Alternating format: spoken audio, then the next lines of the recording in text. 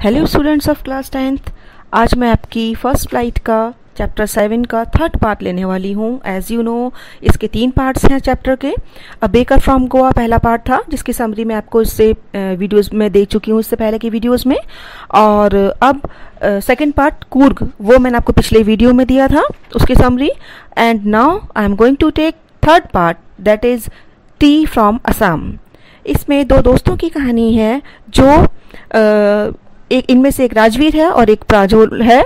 ये इसमें से प्रांजोल जो है, वो असम का रहने वाला है। ये दोनों स्कूल में साथ साथ पढ़ते हैं और प्रांजोल जो है राजवीर को कहता है कि आप वैकेशंस में, जो मेरे साथ चलो समर वैकेशंस में तो वहाँ पे आसाम में आपको मैं घुमाऊँगा। Rajvir is very excited to see the beautiful scenery and greenery of tea plantation outside Rajvir जब ट्रेन में ट्रैवल कर रहे हैं दोनों तो राजवीर जब बाहर की खूबसूरती, हरियाली और ट्रेन से जो पेनोरमा व्यू में उसको बहुत लंबे चौड़े हरियाली और फैले हुए दूर दूर तक फैले हुए खेत और टी प्लांटेशन के सीन दिखाई देते हैं, उससे वो बहुत ज़्यादा एक्साइटेड होता है। Rajvir looks at the scenery outside and is memorise by its beauty उसकी खूबसूरती में खो जाता है।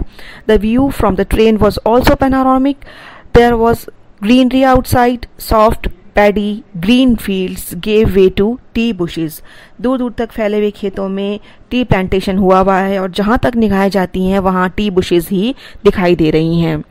There are many legends about the discovery of tea अब यहाँ शुरुआत होती है कि चाय की खोज कैसे हुई, शुरुआत कैसे हुई।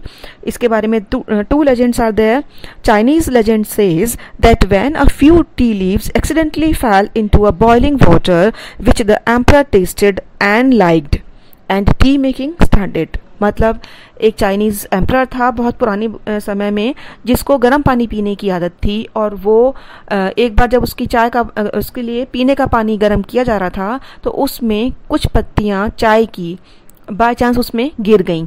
तो उससे उसके पानी को फ्लेवर भी मिला और कलर भी। जब राजा ने वो पानी पिया तो उसे वो पानी बहुत पसंद आया और तभी से वो यही चाय वाला पानी पीने लगा और चाइना में ये टी प्लांट्स जो हैं वो मशहूर हो गए। और इंडियन लेजेंड कहता है कि एक बुद्धिस्ट मोंग था जो एक बार मेडिटेशन की कोशिश कर रहा था तो ही फेल्ट कि उसकी आईलेट्स जो हैं वो उसकी आँखों को बाहरी कर रही हैं, जिसकी वजह से उसकी आँखें झुक रही हैं और उसे नींद का एहसास हो रहा है। इसलिए अपनी मेडिटेशन को कंटिन्यू करने के लिए उसने अपनी आईलेट्स को काट के फेंक दिया। और ऐसा कहते हैं कि जहाँ उसने अपनी आईलेट्स को काट के फेंका था, वहाँ पे टी के यानी चाय के टेन प्लांट्स उगाए और उन टी टी प्लांट्स की यही खूबसूरती थी यही खासियत थी कि जब उनकी पत्तियों को पानी में डालकर पिया जाता था तो उनको पीने के बाद नींद उड़ जाती थी जैसे कि उस बुद्ध मोंक की गिर गई उड़, उड़ गई थी। चाइनीज़ द टी लवर्स ऐसा कहते हैं कि सबसे पहले टी लवर्स चाइना में ही थे। Rajvir told Pranjol that tea was first drunk in China words like chai, cheeni and Chinese ये सब चाइना ओरिजिन के हैं। It spread to Europe then Asia पहले चाइना से चाय यूरोप तक स्प्रेड हुई और उसके बाद एशिया में आई। Earlier tea was drunk more as a medicine than as a beverage पहले ये दवाई के तौर पे पी जाती थी, बजाय बेवरेज के तौर पे पी जाने के। अब ट्रेन जो है वो देखियाबरी जो एक जगह है जहाँ पे प्रांजोल रहता है, वहाँ तक स्टेशन पर पहुँचने लगी है। Soon they were driving towards Dhekiabari. The tea garden managed by Pranjol father Pranjol के जो फादर हैं, वो भी उनका भी एक अपना टी गार्डन है, जिसको वो देखभाल करते हैं। और जब वो दोनों फ्रेंड्स स्टेशन पे उतरते हैं, वो बहुत क्राउडेड क्राउडेड था।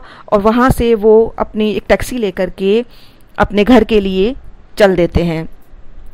Groups of tea pluckers with bamboo baskets on their backs वो रास्ते में देखते हैं कि चाय की खेती हर जगह हुई हुई है और जब वो उस, उस प्रांजोल के फादर के गार्डन में पहुँचते हैं तो वहाँ देखते हैं कि जो टी प्लकर्स हैं वो अपनी पीठ पे बास्केट्स लेकर के और एप्रिल्स पहन करके ताज़ी ताज़ी उगी हुई पत्तियों को प्लक कर रहे हैं।